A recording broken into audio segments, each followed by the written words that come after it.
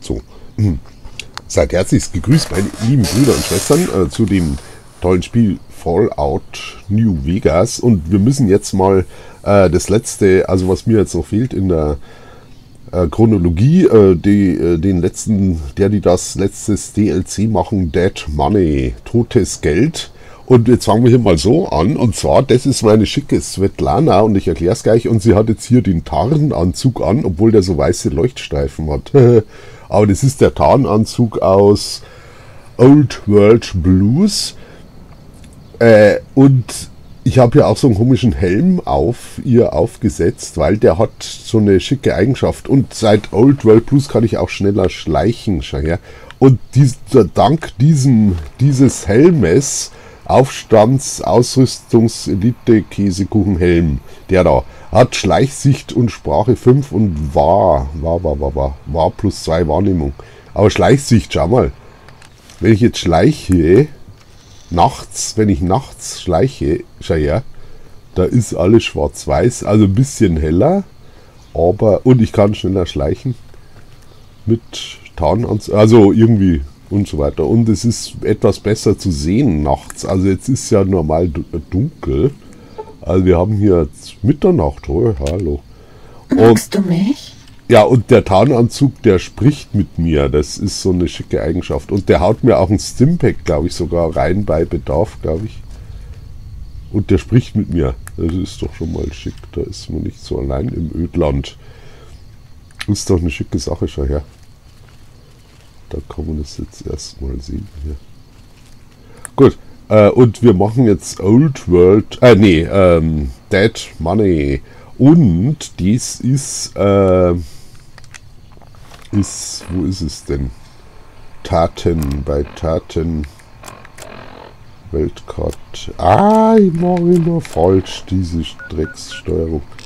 Rechts, rechts, verlassener Bruderschaftspunkt. Da ist er, verlassener Bruderschaftsbunker.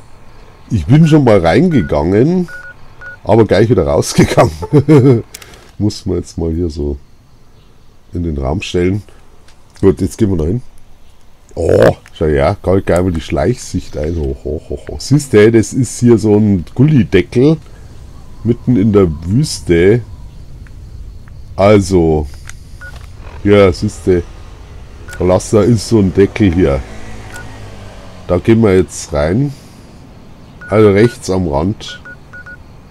Bei Giftmüllhalde und so weiter. Also jetzt gehen wir da rein. Gehen wir rein. Äh, ich mache jetzt aber trotzdem mal Tag, weil da habe ich ähm, meine, meine Fähigkeitswerte, weil ich habe diesen Frühaufsteher-Bonus. Siehste und Frühaufsteher-Eigenschaft irgendwie. Und dann ist äh, ab 6 Uhr früh ist dann bei mir alles besser. Siehst du, oh, Hey, ich habe alles auf 10. Plötzlich, nee. Irgendwas, Ausdauer war noch 9 vorher bei mir. Wieso ist es jetzt 10? Weiß das einer? Also, ach, Buff-Out. Habe ich noch Buff-Out drin, oder wie? Äh, geht das immer weg, oder wie? Frühaufsteher Bonus für tot befunden. Reinforced Spine. Das ist das verstärkte Rückgrat, glaube ich, oder? Roter Schrecken. Ja, da schon her, roter Schrecken. Was ist, das ist doch die Waffe, oder? Schleichsicht, hä? Oder ist das, weiß keiner. Ah ja, ich, mir ist es jetzt auch Tarnanzug. Mir ist es jetzt auch wurscht. Jetzt gehen wir da rein. So, jetzt da geht das los dann, oder? Mhm. Ja, uh, hier ist wieder färbelig. Schau her, da kann man schon gleich was mitnehmen. Ne, da war ich schon drin. Schaut mal die Lampe an. Da ist, da liegt jetzt was. Oh, Sierra Madre, schau her, da ist die Kollegin. Und da liegt einer. Da, den habe ich auch schon durchsucht. Weil ich war hier schon mal, also ich bin so weit, bin ich schon mal reingegangen. Gone to Sierra Madre. Gut. Left my heart in the Sierra Sierra Madre, Madre ist die Mutter, oder? Die, die Sierra der Mutter, oder was? Die Einöde der Mutter. Jetzt gehen wir da rein, komm. Ah ja, okay, Dead Money.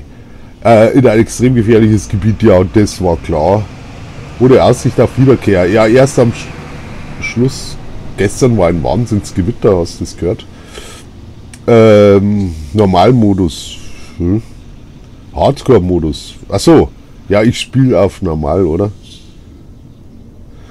Der meine wird erfahrene Kuriere fahren Sie fort, falls Sie die große wartet seit 200 Jahren. Uh, uh. Im Bunker nach Radiosignalen suchen, oder? Muss ich das jetzt machen? Sehr mal. Und and now? And now? Ja, da vorne, ich weiß schon. Ich will bloß mal kurz gucken, was ist hier. Briefkasten, ja, was ist hier? Erfordert Schlüssel, da haben wir ja and now. Ah. Oh. Jetzt ist Käse am Werk. Ach so, bin, ist, ist es jetzt oder wie? Ich werde dich vermissen. Ach, bin ich jetzt tot oder wie? Bin ich tot? Du hast Geschichten vom Sierra Madre Casino gehört. Oh nee. Wie wir alle. Feierliche. Seine Legende. Die Flüche. Irgendein Blödsinn. Achso, Dass es angeblich mitten in einer Stadt der Toten liegt. Begraben unter einer blutroten Wolke. Ein helles, leuchtendes Monument. ja, jetzt müssen wir das sagen das lassen. Schatzjäger in ihr Verderben lockt.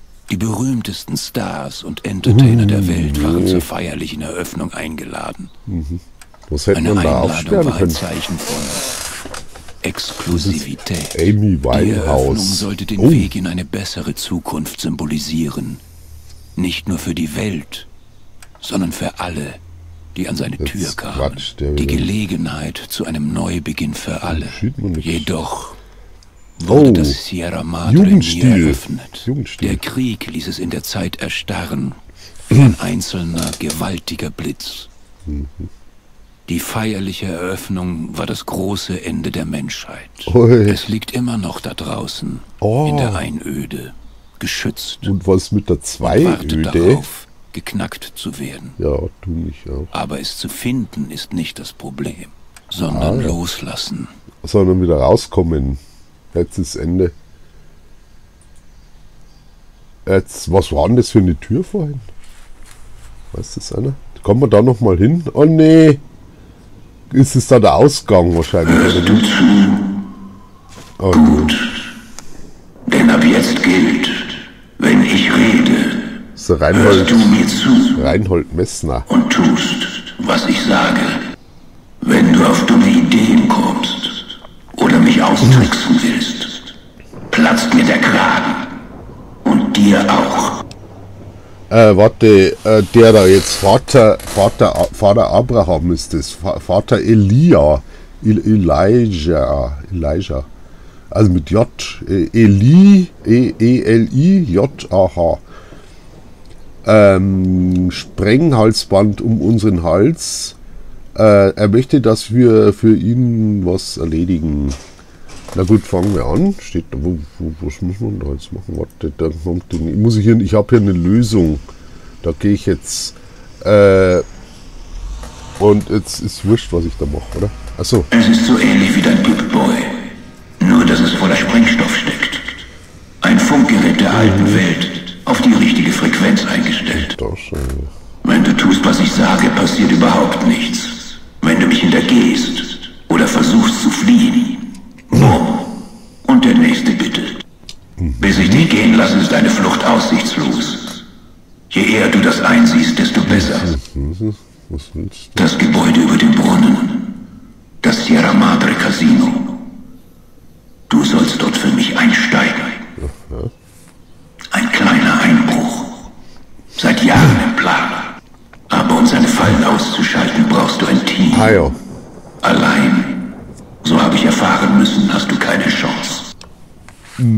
Also brauche ich noch andere. Genau das Team rekrutieren ist eine Errungenschaft. Um die Villa herum findest du drei weitere Halsbänder. Genau. Acht, zwölf und vierzehn. Bring mir alle drei hier zum Brunnen, dann sehen wir weiter. Also ich muss die drei. Aber falls ihr versuchen solltet, euch gegenseitig auszuschalten, um den Schatz des Sierra Madre allein Ich zu kassieren, ein Wort der Warnung. Eure Halsbänder sind miteinander verbunden. Wenn einer von euch stirbt, sterben alle. Wenn man euch so zur Zusammenarbeit zwingen muss, bitte sehr. Äh, warum solltest du das tun? In gewisser Hinsicht ist es einfacher, in Sierra Madre einzubrechen, als den menschlichen Instinkt zu brechen. Habgier. Die Villa ist voller Leichen. Einige sind durch die Gefahren hier gestorben, andere durch mich, andere töteten sich gegenseitig. Durch die Gier, das Sierra Madre zu besitzen, wurde ihnen ihre Freiheit Überleben und auch die anderen egal. Äh, sind, äh, ja. Die, die hergebracht wurden, leben nur in dem weiter, was sie hinterlassen haben. Ihren Graffitis an den Mauern und in den Opfern, die sie töteten. Einige versuchten zu helfen, hinterließen Vorräte für andere. Ihre Belohnung? Sie wurden aufgespürt, getötet von anderen mit niederen Instinkten. Gingen so weit, Fallen zu hinterlassen, missbrauchten hilfreiche Wegweiser als Todesfall für alle, die ihnen folgten. Manche vergaßen, wo ihre Fallen aufgestellt waren und starben selbst. Oder sie starben auf der Suche nach Hilfe, die sie anderen verwehren wollten. Äh, natürlich, ich habe gerade die Lösung gelesen. Dieser Ort ist gefährlich. Das ist ja kompliziert. Und die. Quarantänemaßnahmen, die Gefahren hier, haben viele Leben gefordert. Fehlschläge über Fehlschläge. Dachtest du, ich lege euch Halsbänder an, um euch gefügig zu machen? Nein. Wenn Roboter das erledigen könnten, hätte ich sie geschickt. Das Sierra Madre ist schwer zu knacken. Das geht nur durch Menschenhand. Äh, wo ist meine Ausrüstung? Das Casino weiß sich zu verteidigen. Es durchleuchtet seine Gäste nach gefährlichen Gegenständen. Dass du unbewaffnet bist, war nicht meine Absicht. Das Casino, diese Villa, es sammelt alles, was ansatzweise radioaktiv oder aus unbekannten Substanzen ist und bunkert es. Der Vorgang läuft automatisch ab. Und das Casino besitzt weitere solcher Dienste. Ich weiß keine Abhilfe, außer andere als Werkzeug zu schicken. Trotzdem, du bist nicht ganz schutzlos. Und das Sicherheitssystem des Sierra Madre kann dir helfen, wenn du einfallsreich genug bist. Der Ort ist gut erhalten. Wenige derer, die herkamen, kehrten jemals zurück. Alle Schätze der alten Welt liegen verstreut herum, praktisch unberührt. Suche, jage, benutze, was du Suche, so findest. wirst du finden. Der Schrott der Vorkriegsära kann dich am Leben halten. Lebensmittel, Messer und mehr. Das habe ich tatsächlich Nutze sie. Käse gelesen. Sogar die Gifte der Villa und deren Rückstände können zu Werkzeugen und Waffen verarbeitet werden. Sammle auch sie. Oh, Außerdem Ja, befindet sich noch etwas in deinem Besitz. Ein Gewehr, das dich am Leben halten wird, so wie es das Halsband tun wird. ah ja. Äh, brauchen wir jetzt hier ein Es ist ein Hologewehr. Hologewehr. Eine Waffe, die ich nach meiner Ankunft entwickelt habe. Schief gewickelt. Ich habe seitdem bessere Modelle gebaut und Hologewehr, Modifikationen. wir jetzt. Ja. Das sollte für dich erstmal reichen, bis du was Besseres findest. Und das solltest du. Die Hologewehrmunition ist begrenzt. Jedenfalls sollte es dir gute Dienste leisten. Ich habe es aus den Hologrammen der Villa gebaut und es gegen die lebenden Bewohner eingesetzt. Äh, Ja, die Bewohner. Entschuldigung. Am besten gehst du ihnen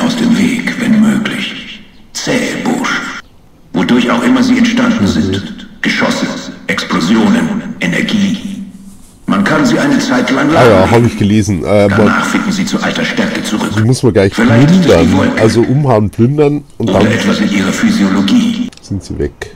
Oh weia. Die Wolke verhüllt den Himmel. Ah ja. In der Luft liegt der Geruch von Kupfer und Schwefel. Er brennt sich in die Lunge und kriecht unter die Haut. Wie sie entstanden ist, ich weiß es nicht genau. Industrielle Ja Luftverschmutzung gut, vor dem in drei Krieg. Stunden können wir. Ausrüstungen aus dem Sierra Madre. Sie ist einzigartig im Ödland Mhm. und tödlich. Seit dem großen Krieg hat sich hier nichts Ja, verändert. was sonst? Äh, kann ich mich Die Luft hier ist nur tödlich, wenn du dich innerhalb giftiger Gasblasen befindest. Also pass auf, wohin du trittst. Wer bei guter Gesundheit ist, kann in der Wolke kurzzeitig überleben. Ja, Alle anderen sind zu schwach. Atemgeräte, spezielle Kleidung. Es gibt keinen Schutz. Die Wolke zersetzt alles, womit sie in Berührung kommt. Sie zu bekämpfen ist aussichtslos. oh, oh. Äh, sicher im Bereich. Überall dort, wo du Schutz vor der Wolke findest. In Gebäuden, Tunneln. Überall dort, wo es keinen Kontakt mit der Luft draußen gibt. Aha, also draußen ist Alles, so was mit der Wolke in. Berührung kam, wurde irgendwie konserviert. Aber nur die Hologramme in der Villa sind die alten geblieben. Äh, Gespenster. Die ganze Villa ist voll davon. Und eine Menge mehr davon im Casino. Eine ganze Menge. Sie können nicht verletzt werden. Äh, Sie führen nur die Aufgaben der nee, ehemals Toten Zombies aus. jetzt, oder wie? Immer und immer wieder, Zombies. bis ihre Kräfte erschöpft Prima. sind. Aber sie sind harmlos. Bis auf die Sicherheitshologramme. Das sind die Silhouetten der bewaffneten Wachen des Sierra Madre. Ist ja prima. Die meisten Hologramme gehen bestimmten Aufgaben nach. Und die Sicherheitshologramme gehen seit dem Abwurf der Bomben nun ihrer Aufgabe nach. Sie töten jeden, den sie entdecken. Sie sind immun gegen Waffen jeglicher Art und EMP. Sogar gegen Energiewaffen. Aber sie haben auch Schwächen. Konstruktionsbedingt ist ihr Sichtfeld eingeschränkt. Also, kann also also unentdeckt gut, dass wir jetzt den Schleichanzug Jedes haben, verfügt oder? über einen Sender. Wenn man ihn zerstört oder ausschaltet, stellt sie keine Bedrohung mehr dar. Dennoch, zumindest sie arbeiten noch wie vorgesehen. Hier gibt es ganz andere Technikfallen. Vor allem die Funkgeräte und Aha. Lautsprecher der Villa. Das Funkgeräte und Lautsprecher. Ja, Villa sollte es Musik geben. Oh weia, geh Im mal. Laufe der Zeit hat die Stärke des Funksignals nachgelassen und eine andere Frequenz angenommen. Gut, Lautsprecher und Funkgeräte stören das Signal für Oh, die das Halsbänder und können so zur Detonation führen. Verfrüht. Oh. Ein unglücklicher Nebeneffekt, den ich nicht erwartet hatte. Ich konnte die Halsbänder nicht neu Das kalibrieren. ist ja witzig. Du musst also so zurechtkommen. Äh, also, also die Luft ist tödlich überall, außer drinnen. Und dann die, die, die, die Lautsprecher machen, die sprengen mein Halsband und dann bin ich tot, oder? Äh, und die Untoten kann man nicht umbringen. Die Zombies, also fängt gut an. Ja, aber nicht sofort. Wenn du einen Ton aus deinem Halsband hörst, nimm Abstand, Aha. durchkenne das Gebiet und such die Oh, Signalquelle. weia. Es gibt beschädigte und abgeschirmte Lautsprecher. Die Beschädigten lassen sich von Weitem zerstören. Aber geh nicht zu nah Denn ran. kann man die Aus den beschädigten Lautsprechern sprühen Funken. Sie sind kaum zu verfehlen. Ihr Gehäuse hält jedoch jede Art von Gewalt stand. Ja, und wie. Ja, genau, wie kann ich die dann zerstören? Schusswaffen, Schusswaffen. Hätte dachte ich, darf sogar ein kräftig geworfener Speer Oh, das sich doch keine Sau Geschützte. Lautsprecher lassen sich nicht zerstören. Ah. Geh ihnen aus dem Weg oder schalte sie beim Terminal an. Das überlasse ich dir. Prima. Äh, ja, Ich habe wenig Geduld und du hast wenig Zeit. prima. Was ist Du kennst die Legende des Sierra Madre nicht. Äh, Das Casino gibt es wirklich. Du gehörst zu den wenigen, die es in Augenschein nehmen werden. Augenschein. Von deinem Standpunkt aus liegt die Villa unterhalb des Casinos über dir.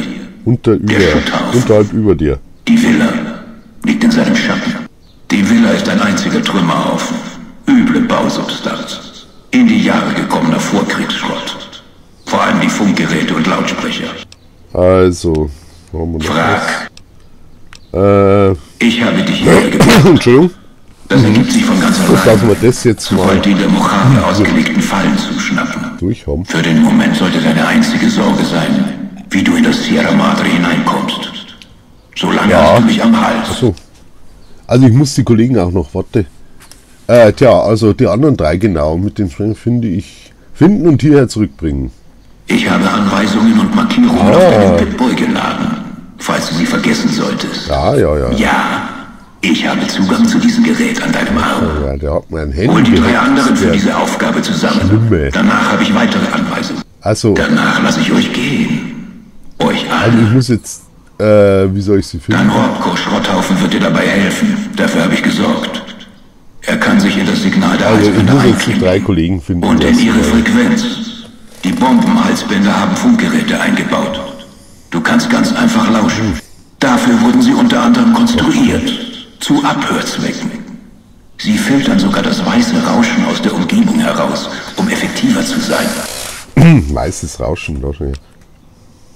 Der eine ist ein treuer Verbündeter, folgsam, Halsband hin oder her. Die anderen beiden, ja, mal abwarten, was uns in die Falle gegangen ist. Nur noch zehn Minuten. Ne? Ja, Halsband Nummer 8, Aha. die FEV-Missgeburt, der Supermutant. Er ist handsam, berechenbar und solange er nicht hungert, leicht zu beherrschen. Ich habe den Kontakt zu ihm verloren. Vermutlich nachdem er dich hier angeschleppt hat. Such ihn. Er wird dir folgen. Halsband hin oder her. Also Nummer 8 müssen wir. Eine lange Geschichte. FEV. Ein Virus mit einer noch längeren Geschichte. Es erschuf diese Kreatur und verwandelte sie in einen Supermutanten. So, jetzt haben wir es aber, oder? Haben wir alles, oder? Gut. Wenn nötig, werde ich dich in die Sendesysteme der Villa einweisen. Falls du nicht weiter weißt, komm hierher zurück. Ich habe dir die Anweisungen auf den Pitboy gesprochen, falls du nicht lesen kannst. Meine Stimme hilft dir jederzeit auf die Sprünge. Ah, ja. Huh! Genau.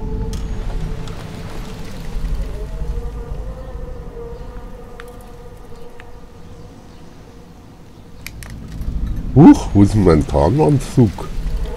Ist weg. Ich jetzt äh, komm. Oh nee. Darf ich jetzt Licht nicht anmachen, oder? Ah nee. Ja gut, Freunde. Äh. Gut.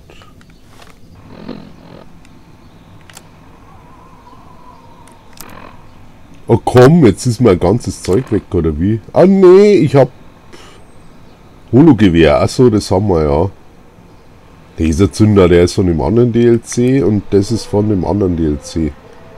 Äh. Prima, ich hab gar nichts mehr. Deckel 0? Haben die einen am Deckel? Ah bitte, ich habe hier gar nichts mehr. Sind die blöd?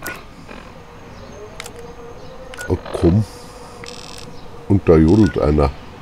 Da müssen wir jetzt zuerst hin, oder wie? 8, der ist der erste. Finden Sie Doc, äh, den müssen wir als erstes. Mm. Also, warte, hier steht in der Lösung. Doc ist ein Supermutant, den wir im Polizeirevier finden sollen. Äh, zuerst schauen wir uns allerdings etwas um. Es lohnt sich. Wir finden einen Verkaufsautomaten.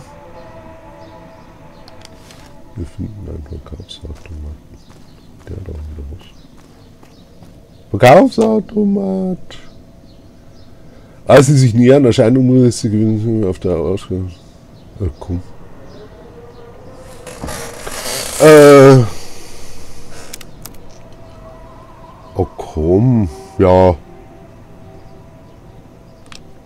Toll. Und genau. Schachtelzigaretten. Entschuldige, äh, wir müssen hier auch 500 Sierra Madre Chips sammeln. SM Sierra Madre Tasche, nee. Eine Errungenschaft. Ähm, äh, also Verkaufsautomat, äh, wie wir schon im Bunker gesehen haben, stellen fest, dass er für gefundene Zigaretten Sierra Madre Chips ausspuckt. Diese Chips finden auch in allen Waffenbrunnen oder oft auf der Straße verteilt.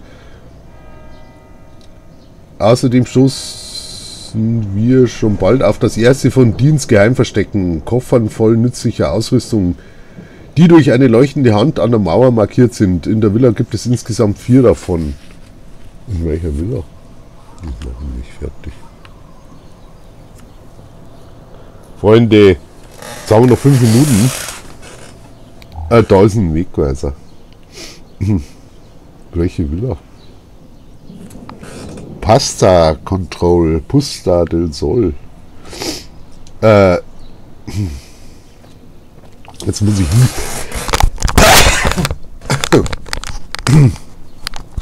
Sen. Entschuldigung. Freunde, pass Obacht. Ja. In welcher Villa? Sehr mal. Äh.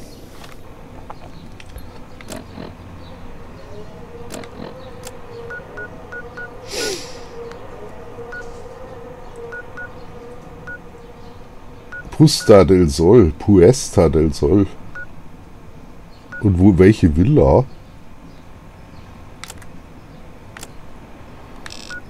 Hm, Das ist auch nicht groß. Ach, kommt.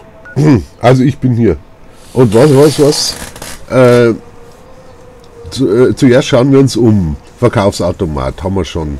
Ähm, diese Chips finden auch in allen Wohnungen, diese Chips finden wir oder? Oder wie? Die haben ein Deutsch, das kann man nicht verstehen. Auch in allen Wandbrunnen und oft auf der Straße verteilt. Außerdem die Chips, Seramade-Chips. Außerdem stoßen wir schon bald auf das erste von Dienstgeheimverstecken, Koffern voller nützlicher Ausrüstung, die durch die erleuchtende Hand an der Mauer markiert sind. In der Villa gibt es insgesamt vier davon. In welcher Villa? Das ist der Brunnenplatz. Und wo ist jetzt die Drecksvilla?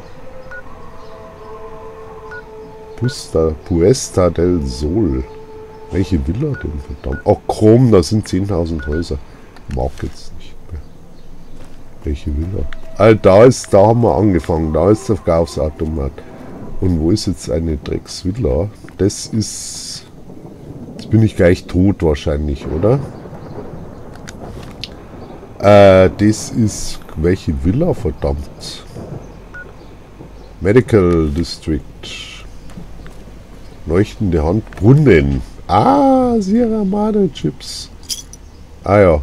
Jetzt müssen wir 500. Oh ja. Der kalte kann man wieder nicht nehmen. 500 Sierra Madre Chips. Jetzt müssen wir, jetzt muss ich Sierra Madre Chips. Was ist denn das? Sierra Madre Chips finden. 500. Äh, mal. Ich habe gar nichts. Achso, ja. Nee, habe ich gar nichts mehr. Äh, Munition, das haben wir noch alles. Sonstige. Ja, auch nicht so wahnsinnig viel. Hilfsmittel, oh ja, Kleidung. Sonstige. Nee, die haben wir alles abgenommen. Ziemlich. Alles Wichtige, Freunde.